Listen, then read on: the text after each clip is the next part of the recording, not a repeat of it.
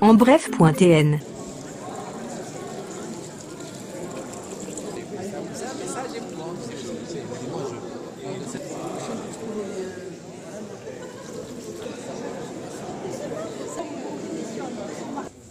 À vrai dire, c'est un. euh, je suis ému de, par ce prix euh, et en même temps euh, agréablement surpris en quelque sorte.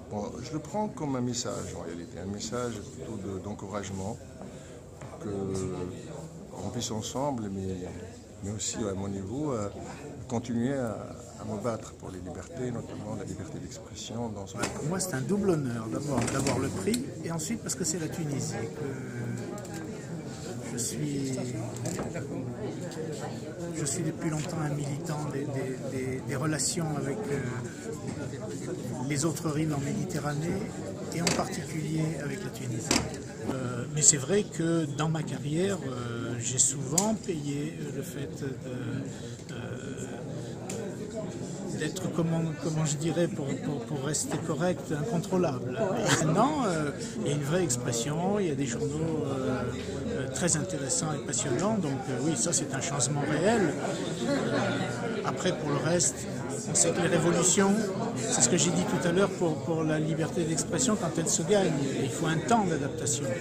Et après une révolution, euh, il faut beaucoup de temps pour retrouver ses marques et trouver comment on se sert de, ce qu'a fait la Révolution. En France, il y a eu une révolution, euh, ça n'est qu'un siècle après qu'il y a eu la République et deux siècles après qu'il y a eu le droit de vote des femmes. Alors, d'abord, on a de leçons à donner à personne, et ensuite, euh, ça, montre à quel point c'est difficile.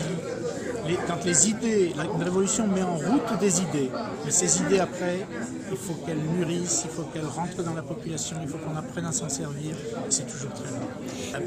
Pour les jeunes journalistes, je dirais, sachez que quand la liberté d'expression est accordée, que la liberté de la presse existe, elle est reconnue, vous devez la reconquérir chaque matin, euh, y compris contre vous-même, car l'un des dangers pour les journalistes, c'est de s'installer dans une routine, euh, d'oublier leur devoir de, de curiosité, d'investigation, leur volonté de savoir, etc. Et donc la liberté, c'est vraiment quelque chose contre les autres et contre soi-même qui se regagne tous les jours.